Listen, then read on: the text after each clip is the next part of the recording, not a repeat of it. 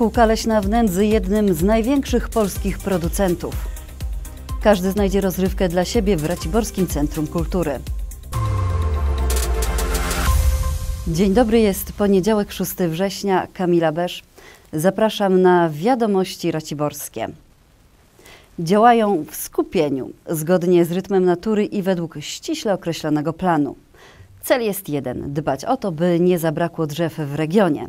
Sprawdzamy, jak działa leśna szkółka w nędzy. Leśna szkółka kontenerowa to jeden z nowoczesnych, zielonych skarbów gminy Nędza. Motywacją do jej założenia był tragiczny w skutkach pożar z 1992 roku. Zaistniała potrzeba wyprodukowania wielu, wielu milionów sadzonek. I wówczas zrodziła się idea, żeby stworzyć nowoczesną szkółkę, która w stosunkowo krótkim czasie będzie mogła wyprodukować odpowiednią ilość sadzonek. Pożar w nadleśnictwie Rudy Raciborskie w 1992 roku strawił bez mała 10 tysięcy hektarów lasu. Ogromna motywacja i konieczność sprawiły, że 5 lat później rozpoczęła się pierwsza produkcja w szkółce leśnej. Obecnie to jedna z największych, o ile nie największa, szkółka kontenerowa w Polsce. Początek lat 90. to jest właściwie również początek szkółkarstwa kontenerowego w kraju. Przed nami, przed szkółką w Nędzy funkcjonowała już szkółka w Kostrzycy, w Karkonoszach. Szkółka kontenerowa w Nędzy jest częścią Nadleśnictwa Rudy Raciborskie.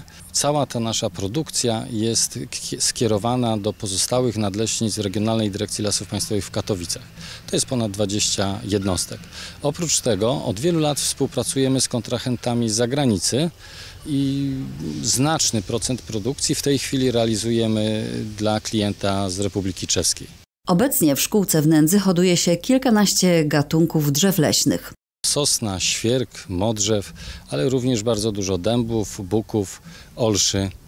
Y, myślę, że ciekawostką jest, że również hodujemy jabłonie, grusze, jarzębiny, czyli tak zwane gatunki biocenotyczne.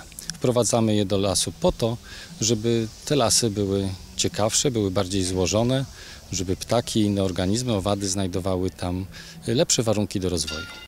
Jeśli natkniesz się w lesie na dziką gruszę lub jabłoń, której owoce kuszą swoją barwą, zastanów się, nim po nie sięgniesz, bo możesz rozczarować się ich smakiem. Dzikie odmiany są kwaśne, a ich celem jest służyć za pokarm przede wszystkim leśnej faunie. Rocznie w szkółce produkowanych jest w sumie 8 milionów sadzonek. Specjalizujemy się również w hodowli sadzonek mikoryzowanych, czyli od razu wyposażonych w grzyba mikoryzowego, który nazywa się hebeloma. Dzięki niemu sadzonki nadają się na grunty porolne i zdegradowane. Dodajmy, że od 1 września ruszyła sprzedaż detaliczna drzewek w szkółce w bardzo konkurencyjnych cenach, a zimą dodatkowo można tu zaopatrzyć się w piękną choinkę. Raciborskie Centrum Kultury bardzo się cieszy, że mimo pandemii może liczyć na bezpośredni kontakt z widzem. Dlatego już od początku września ruszyło z bogatą ofertą kulturalną. Tylko korzystać. Nowy sezon artystyczny mają szczęście zaczynać z żywą publicznością i tak też spodziewają się spędzić cały rok. Raciborskie Centrum Kultury zaprasza zatem, aby korzystać z możliwości bezpośredniego artystycznego spotkania. Wyjątkowo w tym roku sezon artystyczny nie rozpoczynamy w październiku, a już praktycznie we wrześniu. E, I zapraszamy Państwa jak co roku na Dni Muzyki Organowej, już po raz 34. Najbliższy koncert odbędzie się w Kościele Farnym w najbliższą środę o godzinie 19, czyli po mszy i będziemy mieć zaszczyt gościć e, znanego organistę, który już też gościł na festiwalu na Dniach Muzyki Organowej Wolfganga Zajfena. Także serdecznie zapraszamy. To początek całorocznej uczty dla zmysłów, jaką mają zamiar zgotować wszystkim miłośnikom kultury i sztuki pracownicy RCK. Uczta w przenośni i nie tylko, ponieważ wspólnie z naszą kawiarnią Etiuda, która od niedawna się otworzyła w naszym budynku, organizujemy recital y, muzyczny y, naszego tercetu y, Silesian Jazz Daughters. To przypomnę, że grupa dziewcząt Joanna Skowyra, Alicja Plochburda i Paulina Świerczek, które nie tylko świetnie śpiewają, ale świetnie wyglądają, w styczniu założyły właśnie w Raciborskim Centrum Kultury swój tercet. Mają już na swoim koncie też pierwsze wygrane, między innymi w Siemianowicach Śląskich mikrofon Siemiona i za sobą wiele koncertów, e, więc z pewnością część z Państwa już mogła je usłyszeć. Będzie swingowo, jazzowo, e, usłyszymy utwory mm, polskie i zagraniczne i wszystko w aranżacjach kompozytora i pianisty, z którym mamy przyjemność współpracować, Adama Jarzmika. Ten koncert o 18 9 września, a w niedzielę 12 września w sali widowiskowej przy Chopina koncert projektu Gary Moore Tribute Band.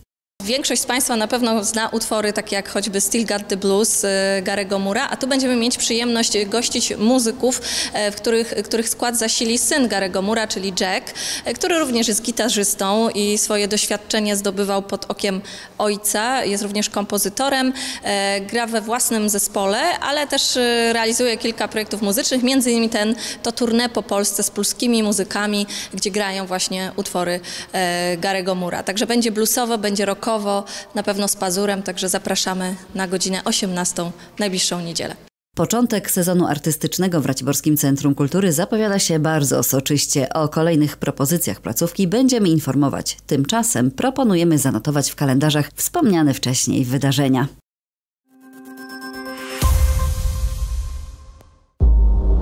Od marca 2020 roku w naszym kraju szerzy się pandemia koronawirusa. W sumie w Polsce zachorowały już prawie 3 miliony osób, z czego ponad 75 tysięcy przegrało zmagania z wirusem. Możemy wrócić do normalności, zapomnieć o obostrzeniach, maseczkach i narodowych kwarantannach. W chwili obecnej mamy dostępne dwie szczepionki mRNA i dwie szczepionki wektorowe. Szczepionki mRNA, szczepionka firmy Pfizer oraz szczepionka firmy Moderna oraz szczepionki wektorowe firmy Johnson Johnson i AstraZeneca. Ich działanie praktycznie jest takie samo, to znaczy dąży do wytworzenia przeciwciał przeciwko białku S wirusa SARS-CoV-2. Skuteczność szczepionek mRNA szacuje się na ponad 90%. Mowa tutaj o ochronie przed zakażeniami. Jeśli chodzi o szczepionki wektorowe firmy AstraZeneca, ona zbliża się do 80%, w granicach 70% jest szczepionka jednodawkowa firmy Johnson Johnson. Wybór tutaj preparatu jest na pewno pewno taką sprawą indywidualną, bo trzeba wewnętrznie rozważyć. Jeżeli ktoś się boi ukłucia, to tutaj e, samo szczepienie jedną dawką daje już nam sporą odporność i szczepionka Johnson Johnson jest wtedy takim wyborem najwłaściwszym. Natomiast rekomendacje, szczególnie dla osób z e, jakimiś zaburzeniami odporności, e, starszych osób, takie były rekomendacje Rady Medycznej, są to szczepionki mRNA, czyli zarówno e, szczepionka Pfizera, jak i Moderny. W chwili obecnej już nie ma ograniczeń wiekowych, jeśli chodzi o stosowanie szczepionki AstraZeneca dla osób starszych. Póki co jedyną dostępną dla osób poniżej 18 roku życia w przedziale między 12 a 18 lat jest szczepionka Pfizera, ale już prawdopodobnie będzie będzie niedługo dopuszczona również szczepionka Moderny, tak jak to się stało w innych krajach. Zalety szczepień dostrzegła już prawie połowa Raciborza. Tylko do końca lipca zaszczepiło się niemal 25 tysięcy mieszkańców. Druga połowa wciąż zwleka. Z braku czasu, z obawy o swoje zdrowie, z uwagi na fałszywe informacje czy wiary w naturalną odporność. Pora na rzetelne informacje na temat szczepień wszystkie te szczepionki są przede wszystkim bezpieczne. Ryzyko jakichkolwiek powikłań, które mogą się zdarzyć przy każdym produkcie leczniczym, jest e, szacowana w promilach. Sam proces szczepienia, tak jak to było przy innych szczepionkach, nie jest jakimś skomplikowanym medycznie procesem. Nie ma w zasadzie wielkich przeciwwskazań tu niezależnie od typu szczepionki. W zasadzie jest to tylko e, ostre zakażenie z wysoką gorączką bądź uczulenie na którykolwiek ze składników danego preparatu. I tutaj mogą pojawić się wątpliwości. Jeżeli są jakieś uczulenia, należy oczywiście powiedzieć o tym lekarzowi. I to są sytuacje, w których należy tutaj ewentualnie skonsultować się, czy, czy dane uczulenie nie jest przeciwwskazaniem do danego typu szczepionki. W chwili obecnej nie notuje się zakażeń u osób zaszczepionych, niezależnie od szczepionki. Jeżeli są to zakażenia, to, to są pacjenci, którzy nie trafiają do szpitala, czyli przebieg jest bardzo łagodny. To myślę jest najlepsza zachęta dla nas wszystkich. Zaszczepić się może każdy dorosły, a także dziecko, które ukończyło 12 rok życia. Aby zarejestrować się na szczepienie, wystarczy zadzwonić pod numer 989 i w rozmowie z konsultantem ustalić termin oraz miejsce podania preparatu. Można też zarejestrować się elektronicznie poprzez portal pacjent.gov.pl lub wysyłając SMS o treści Szczepimy się na numer 664 908 556. Możliwy jest także bezpośredni kontakt kontakt z wybranym punktem i ustalenie dogodnego terminu szczepienia. Na terenie miasta funkcjonuje 8 punktów szczepień. Największy z nich znajduje się przy ulicy Wileńskiej w sali gimnastycznej Centrum Kształcenia Zawodowego i Ustawicznego nr 1. Kolejne funkcjonują w szpitalu rejonowym w Raciborzu przy ulicy Gamowskiej oraz przychodniach na terenie całego miasta. W Centrum Medycznym Bema Med przy ulicy Bema 4, lecznicy imienia Świętego Łazarza przy ulicy Czekoladowej 7, niepublicznym Zakładzie Opieki Zdrowotnej Medicus przy ulicy Piastowskiej 29, w budynku dawnego Zewu, Centrum Medycznym Eskulap przy ulicy Kolejowej 19a oraz Centrum Medycznym Eskulap przy ulicy Kapitana Serafina Myśliwca 9 w dzielnicy Brzezie, a także w aptece przy ulicy Ogrodowej. Osoby mające trudności z dotarciem do punktu szczepienia, w tym osoby posiadające aktualne orzeczenie o niepełnosprawności w stopniu znacznym o kodzie R lub N, mogą liczyć na pomoc w organizacji transportu. W tym celu należy skontaktować się z pracownikiem infolinii pod numerem 32 755 06 86, który zorganizuje dowóz do wybranego punktu szczepień. Szczepienie to dziś jedyna szansa na powrót do normalności. Dzięki niej możesz uniknąć zachorowania i hospitalizacji. Dzięki niej bezpieczni będą Twoi domownicy. Dzięki niej bezpieczni będą Twoi przyjaciele, rodzina, sąsiedzi. Dzięki niej bezpieczni będziemy wszyscy.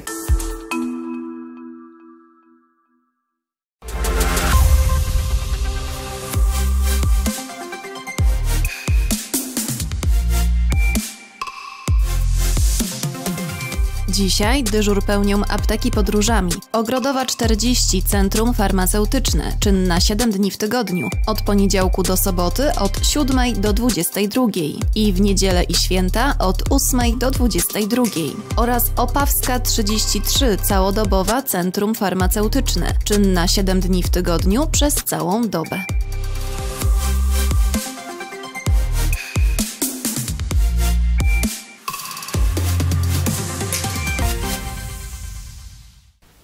W dzisiejszych wiadomościach raciborskich to już wszystko. Serdecznie dziękuję za uwagę. Życzę spokojnego wieczoru. Do zobaczenia jutro.